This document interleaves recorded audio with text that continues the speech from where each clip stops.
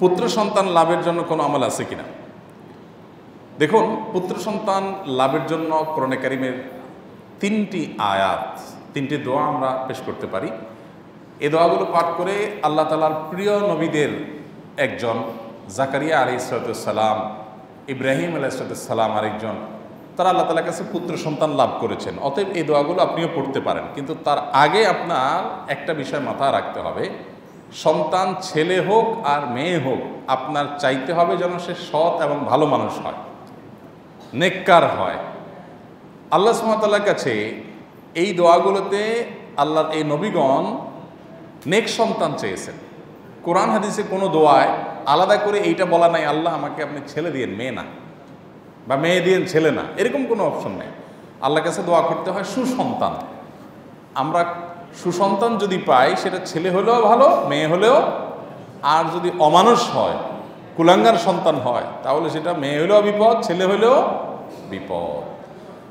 কত মানুষ আছে যে এমন ছেলে হয়েছে যে এই ছেলে সে আশা করে নাই। এর চেয়ে মেয়ে হলে বরং খুশি হইত, বা না হলে আরও খুশি হইত।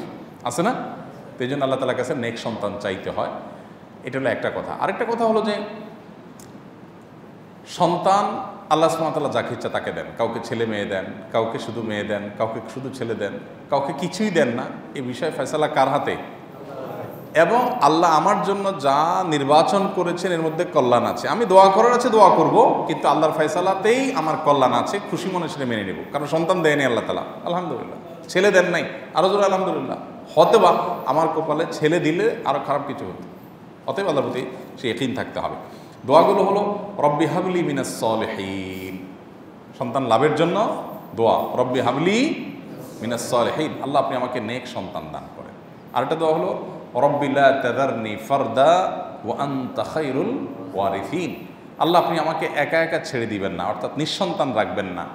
আপনি সর্বোত্তম ওয়ারিস, সর্বোত্তম উত্তরাধিকারী। রব্বিল্লা তেদারনি ফরদা ও আন্তাখাইরুল ওয়ারিফিন আরেকটা হলো, রব্বে হাবলি মিল্লাদুমকা যুররিয়াতান তাইয়্যিবা ইন্নাকা সামিউদ দুআ। রব্বি হাবলি মিল্লাদুমকা যুররিয়াতান তাইয়্যিবা হে আল্লাহ, আমাকে আপনার তরফ থেকে ভালো সন্তান দান করেন। ইন্নাকা সামিউদ দুআ, নিশ্চয়ই আপনি দোয়া শ্রবণকারী। তাহলে এখানে এই দোয়াগুলোর প্রত্যেকটাতে দেখেন, ছেলে বা মেয়ের কথা কিন্তু বলা হয়নি। আপনি সুরায় ফুরকানের চুয়াত্তর নম্বর এত সাথে যোগ করতে পারেন। রব্বানা হাবলানা মিন আজওয়াজিনা ওদুরিয়াতিনা কুররাতা আয়ুন ও জাআলনা লিল মুত্তাকিনা ইমামা। আল্লাহ স্ত্রী সন্তান এমন দেন যাতে চক্ষু শীতলকারী হয়। দেখেন, ছেলে মেয়ে বলে কথা নেই, চক্ষু শীতলকারী। ইমানদারের মতো এরকম যৌক্তিক এবং এত বেশি সুচিন্তিত, দোয়াকারী বা প্রার্থনাকারী বা নিজের কল্যাণকামী আরেকজন মানুষ পাবেন না। ইমানদার যা বলবে সেটা খুবই সুচিন্তিত হবে। ছেলে বা মেয়ে না নেক সন্তান চাই। হ্যাঁ থাকতে পারে আকাঙ্ক্ষা, কিন্তু মূল টার্গেট হবে কি? নেক সন্তান। আল্লাহ আমাদেরকে নেক সন্তান এর অধিকারী হওয়ার তফিক দান করুন। তাহলে সুরা ফোরকানের চুয়াত্তর নম্বরের পাশাপাশি এই আয়াতগুলো, এই দোয়াগুলো আমরা পড়ব। আবারও বলছি চারটা দোয়া। সুরা ফোরকানের চুয়াত্তর নম্বর আয়াত হলো, রব্বানা আহমদান আমিন আজওয়াজিনা ওজুরিয়াতিনা কুররাত আয়ুন ও জাহান্না লিল মুত্তাকিনা ইমামা।